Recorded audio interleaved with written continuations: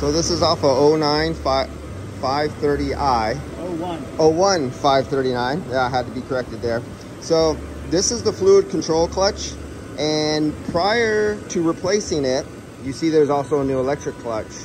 When I checked this thing out yesterday, it was skyrocketing right over 450 PSI and it would cut off the clutch, uh, cut off the compressor, and it was like pretty fast. And you can see the airflow coming out of here, but there was airflow yesterday, but it wasn't enough. And it's something over experience and time, you just know that. And it's not locked up one-to-one. It's still not hot enough to actually do the bimetallic screen and lock it up to one-to-one. -one. So this thing will roar even more when it gets hotter. It'll catch a certain point, it'll speed up, and then by pulling more air through it, it'll cool down the bimetallic, it will release and allow it to slip more, and then it'll slow back down. It'll keep repeating that step.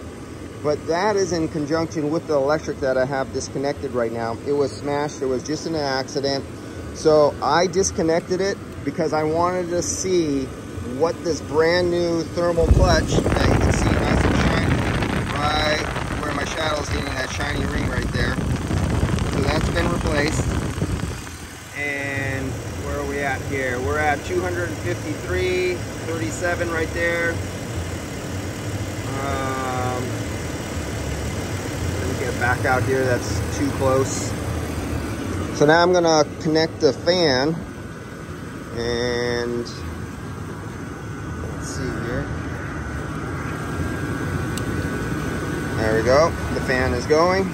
Now the fan will take over and we'll see that go down. There it goes, the electric fan is going, taking over. Now what will happen is that the electric fan can move so much air as long as it's not 100 degrees outside that the more air you move will hit the face of the thermal fan clutch and it'll cool down that bimetallic and it'll actually start releasing it and your thermal fan clutch, your mechanical fan clutch driven by the water pump will start slowing down because this will move so much air over it, it cooled down your little thermal uh, bimetallic piece right here that controls how fast that goes. So when you want to condemn one of these and you have this working too at the same time, some cars, like some BMWs, will have a pressure switch that won't allow a fan to even come on until it hits 270 degrees of PSI. So what you'll want to do is you'll want to disconnect it if it's easy to get to and just wait for your temperature, your coolant to get up, heat this up, and you'll notice that it never locks up one to one, it never spins really good, and it allows your high side pressure to go over 450 and you'll go, but my engine is not overheating.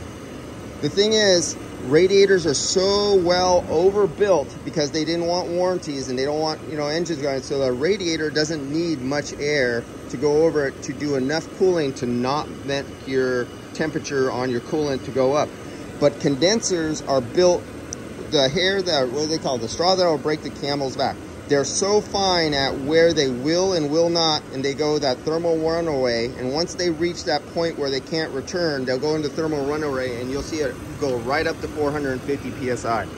So this is doing really good now. Oh, and I just ate my.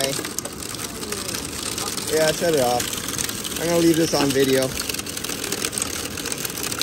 And and I just ate my my thermal probe off of my. Uh, thing there while I'm paying attention to uh, our good old thingamajigger here. Oh well, let me get that out of there. I'll fish that out of there.